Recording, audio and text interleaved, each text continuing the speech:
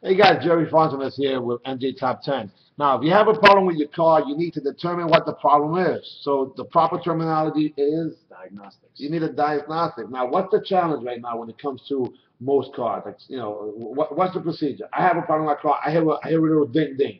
Well, most most people see a check engine light or you know something light up on the dashboard. They go to their mechanic. They say, you know, I got a check engine light. You know, all those mechanics, most of the ones I've ever seen in New Jersey, they plug in their little tool. It gives them a code. It gives them a description for what for the, what the what the code is, and then they have like seven possibilities of what to replace, and they usually just end up replacing every single one. Because rather than figure out which one is the actual problem, Wait, but doesn't that cost more money? uh, a lot more money. I can't tell you how much money I've saved from people who went to these places. I always knew that. Yeah, they're, they're, it's not a guessing game. It's not, you know what I mean? So they're lazy. Absolutely. Either that or they just don't know how to test for certain things. So either so that's two two character flaws right there. Either they're lazy or they're incompetent. Correct. Yeah. Like, you know, P0300 and P0301, those are codes that you would get off of a tool. That's misfire, general misfire, misfire for cylinder one. You know, uh, an actual misfire is either when there's no spark. I, I'm sorry, I'm, I'm pissed off over here because I, I I've had you know a Mercedes Benz as an example. You know that's not the thing. I get it. It's expensive. Oh boy, oh boy. So so what's the difference between a professional and amateur then? A professional knows how to diagnose something properly the first time, the right way, and fix it. Saves you time and money, Correct. and you're able to resolve the issue.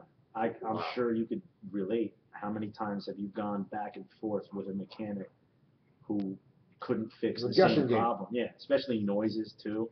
You know, you got to know how to move the wheels when they're off the ground. But it's also based on experience. Okay, uh, enough of that. How many years of experience do you have in the in the area? Give me an overview. I have 12 years of experience. Um, I went to Lincoln Tech, but I didn't really learn anything there.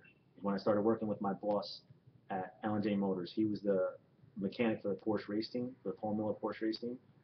Um, he was, he's an amazing Overqualified to be in some little shop in New Yes, Jersey. absolutely.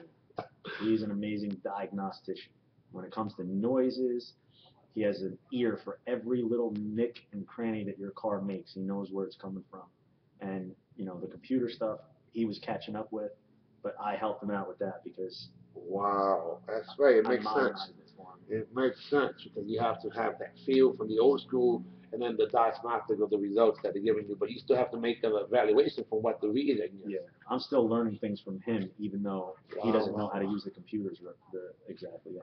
You know, Oh, so when it's all said and done, you both be better because you get to know the tools and not just the reverse punch. Because by the way, you're a black belt, right? So you're type of thing to, uh, the art of war wanting to win. That's what it seems like to me, right? absolutely. Plus you have some Spartan blood, so because of that, I think you want to win even more so. Yeah.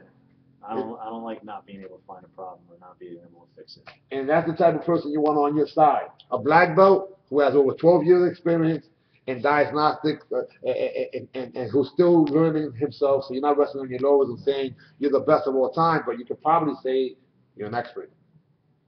10 years, 12 years, I don't care who you are, you would be pretty good at something. But in your case, you uh, do you have your black belt working on your master's degree when it comes to um, the, the results of the work? I would say, as a as a mechanic, I would definitely say I'm I'm a black belt. I can't say I'm a master yet, but I. I, yeah, there's a lot of people that call themselves master techs that really they're not. Oh, that's the natural terminology. I don't know. I don't know. Well, They got masters and everything, master plumber, master electrician. At the dealership, if you work at a dealership, you get the terminology master tech. All that means is you took a bunch of online Courses. courses and tests and And you you passed. passed them, but that doesn't mean you can diagnose. Yeah, so the higher the diagnose. And again, the most important part is doing doing that. Right. Knowing where the problem is. Yeah, well, at least knowing where to look because if it takes you 10 hours to find the problem, are you going to charge the customer 10 hours of labor for the diagnostics? No. The way I was taught was you have an hour to diagnose the problem.